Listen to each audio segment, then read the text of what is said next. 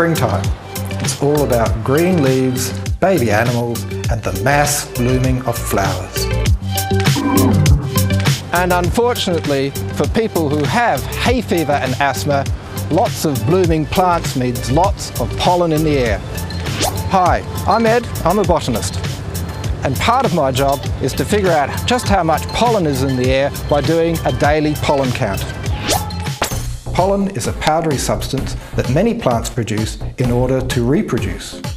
You see, because plants can't move around to find mates, they make pollen grains that can travel to reach receptive partners.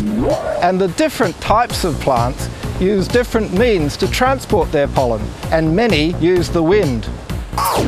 These include grasses and pines, and when they flower in springtime, they produce lots of lightweight pollen grains that can travel a long way on the wind.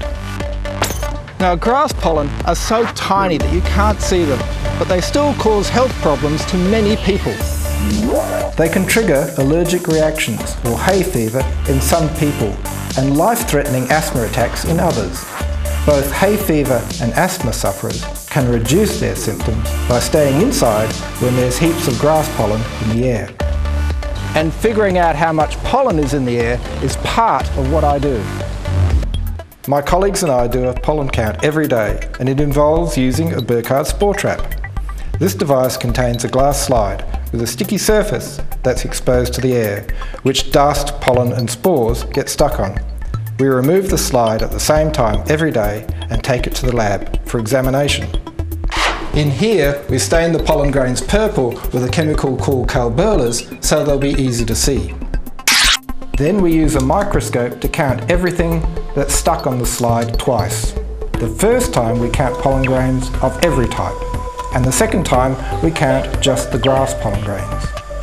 Next we do some simple maths on the grass pollen result to get the average number of grass pollen grains per cubic metre of air for the day.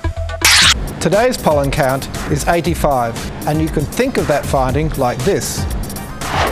If a 1 metre cube had been filled with air here many times over the last 24 hours, on average the cube would have contained 85 grains of grass pollen.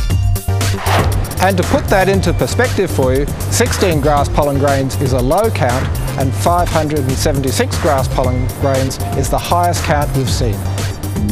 Once we know the pollen count for the day, we can work out the pollen forecast by factoring in the weather forecast for the next day plus knowledge about grass biology. And we quote both the pollen count and the pollen forecast to the media so they can keep everyone informed. Because as lovely as most people find this time of year, for others it's the prime time for itching, sneezing and wheezing.